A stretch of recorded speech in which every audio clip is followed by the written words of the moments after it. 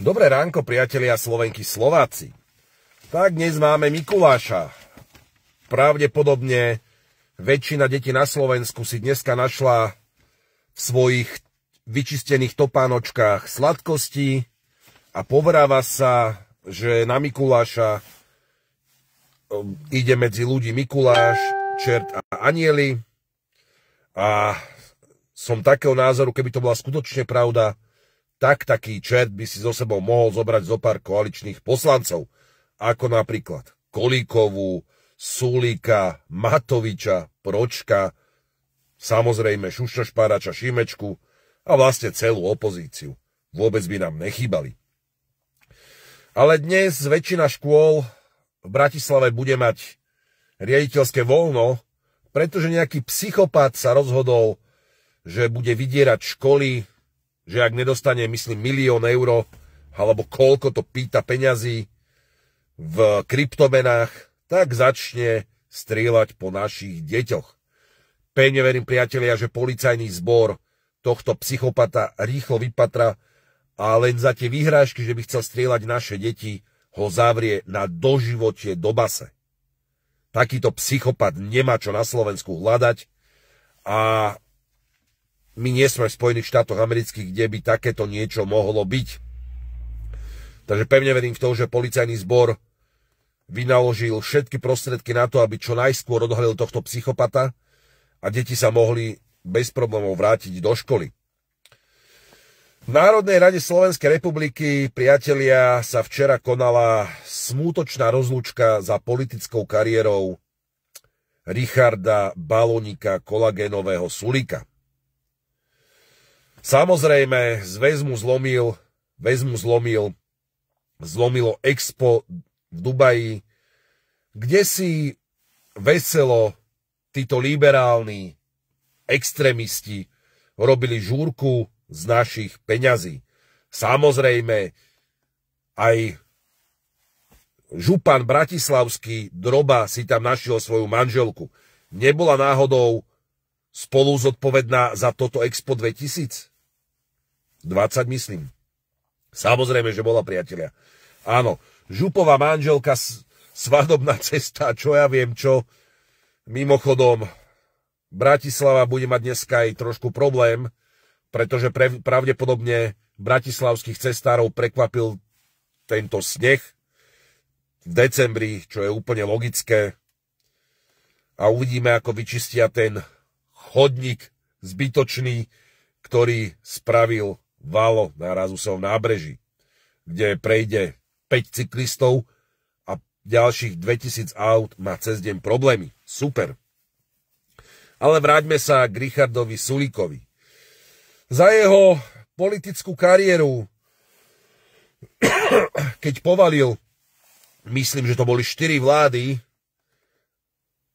asi vyraboval a spolu vyraboval Slovenskú republiku, si nezaslúži nič iné, iba ťažké opovrhnutie. A pevne verím v to, že Richard Sulik skončí takisto ako multiotecko Boris Kolár, že mu bude hroziť dlhoročný pobyt all inclusive, trikrát denne strava, strážený a hodinová vychádzka denne, dlhoročný.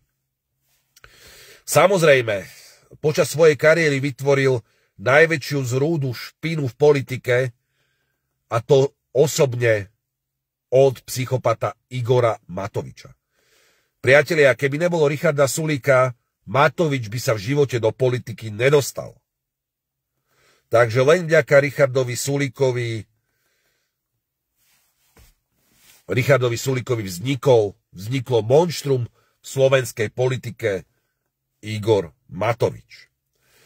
A včera mu to koaliční poslanci Riškovi Kolágenikovi dali strašne strašne vyžrať.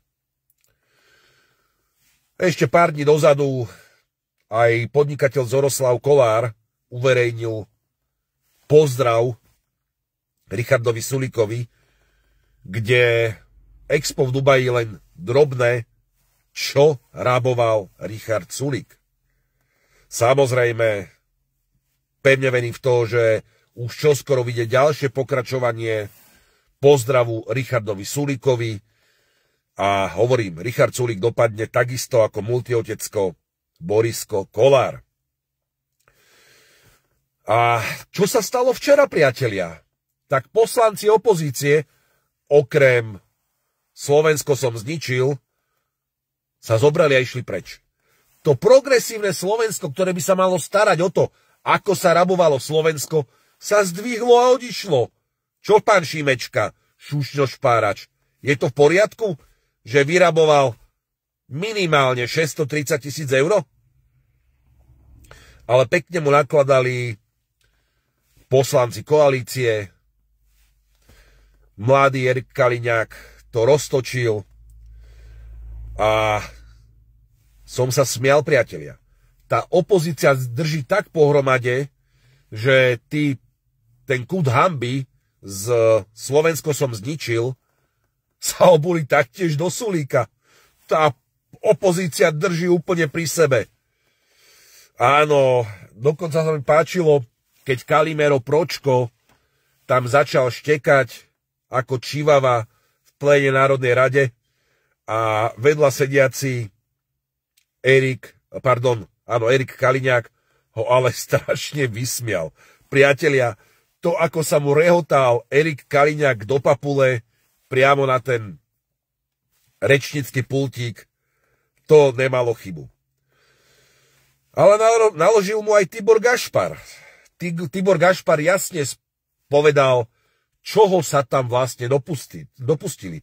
Od, podob, od podvodu cez spreneveru, cez e, machinácie so zverenými finančnými prostriedkami viacero trestných činov, priatelia. Takže som zvedavý, ako to dopadne. Včera tam padlo, myslím, uznesenie, že Riško Sulík by mal túto škodu zaplatiť. Čo je žiaľ je len uznesenie, nič to nezavezuje, ale som presvedčený, že orgány v trestnom konaní vyšetria a samozrejme to skončí aj nejakým tým obvinením. Tento týždeň bude to v Národnej rade Pestre, alebo budúci týždeň. Bude sa schváľovať štátny rozpočet. Viete, čo je zaujímavé, priatelia? Že tie médiá kvičia, že sa idú zdražiť cigarety, idú sa zdaniť veľké podniky, banky. Ale prečo nekvičali? Ja som fajčiar. A si pamätám veľmi dobre dobu, keď som prišiel jedného dňa si kúpiť cigarety a v priebehu roka zdražili o euro. 50 centov a potom ďalších 50 centov. To, to vtedy médiá nekvičali. A samozrejme, ešte pokašliam, ešte pokašliam priatelia, lebo tiež som teraz mal nejakú tú chrípočku. Tá trestnoprávna zodpovednosť a hmotná zodpovednosť politikov už konečne by mala uzrieť svetlo sveta. Samozrejme, a malo by sa to vzťahovať aj na rodinných príslušníkov. Pretože veľmi dobre vieme, že psychopat Igor Matovič nevlastní nič. Ale za to jeho Paulinka, ktorá sa každý deň bojí toho, že je zaklope na dvere naka, tá vlastní toho veľa. Takže priatelia, pevne verím, že si užijete konečne zasnežené ráno aj na západnom Slovensku. Áno, vy stred Slovenska a Košice, vy toho snehu ste už zažili, ale my sa môžeme tešiť, tak povediac, z prvého snehu. Deti majú radosť, dokonca aj môj pes sa vytešuje zo snehu. A prajem vám pekný deň a som rád, že tu máme konečne proslovenskú vládu. Nenecha si skákať.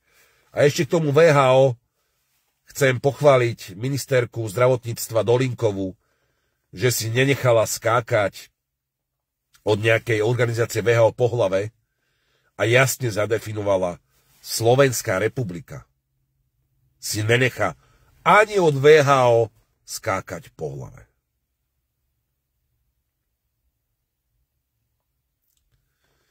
Pekný deň prajem.